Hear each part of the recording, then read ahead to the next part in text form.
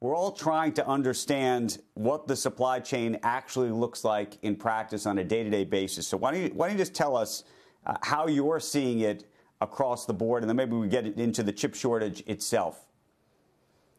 Thank you. Uh, good, morning, good morning, and thank you for having me here. So, first of all, I think the first thing we need to understand is that what is driving the current shortages, the first thing is demand. During the last year and a half, because of all the changes that COVID has created, the demand for our products specifically has really increased, and this is what is driving some of the shortages that we see today. Shortages are coming from components that in many cases are not available for us and many other industries, but also because of the situation in many countries where COVID has been very tough during the last months and factories have been closed. This is really what is driving the, the current situation. So you think it's as much you think it's as much a demand issue, meaning the demand is just so strong that we would have had these issues irrespective of what seems like a, a, a clearly a problem when it comes to semiconductors, for example.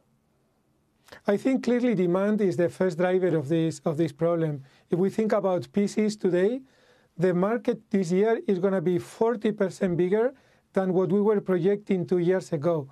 And this is really driven by people working from home, kids that have been learning from home.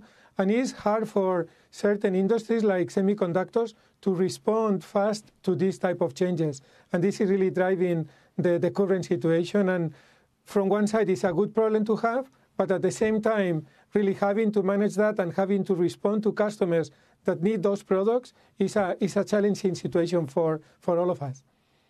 Okay, so two, two semiconductor questions. One is to the extent that you have any uh, forecast here for us, when do you think it, it eases? Is, it, does it ever normalize?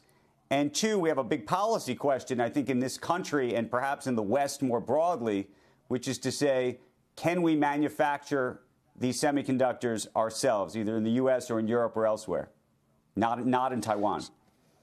Sure. So, first of all, we think that this situation is going to last at least through the first half of 2022. And what happens in the second half is going to be a matter, especially of demand, not only on our in, our industry, but in many other industries that are using the same components.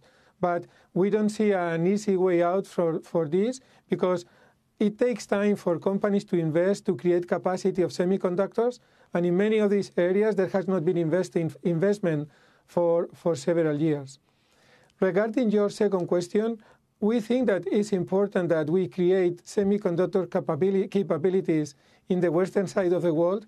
If there is something we have learned during the last year and a half going through the pandemic, is that we have to match dependency on a specific area of the world when we talk about semiconductors and other manufacturing areas, and we need to rebuild some of these capabilities in North America and also in Europe.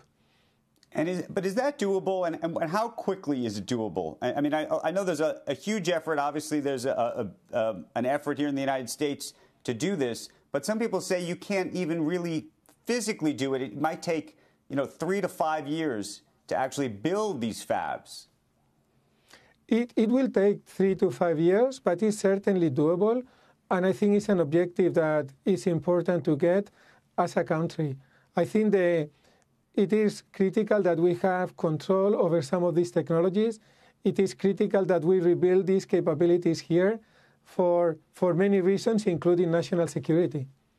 Right. Uh, you are uh, going to be hosting this this call today, and one of the issues is going to be ESG, something that I know you've taken very seriously. You're now building a number of products around ESG and trying to be sustainable. I'm, I'm talking about your laptops, which include recycled aluminum, um, the Dragonfly laptop, which is made out of uh, what I think is ocean-bound plastic. How much more expensive is it to make those products? And do you see users, customers saying, I want to buy those products because they're made out of those materials? Yes, our goal is to become the most sustainable and just technology company. And we have made ESG one of the top priorities of the company, both because we think it's the right thing to do, but also because there is a clear business need and a growing business need we see demand from customers, demand from investors, demand from partners. And when we create the products like the Dragonfly that you explained, we clearly see that consumers and, and business companies, really value the, the impact that these products will right. have, and it's really becoming a key differentiator for us.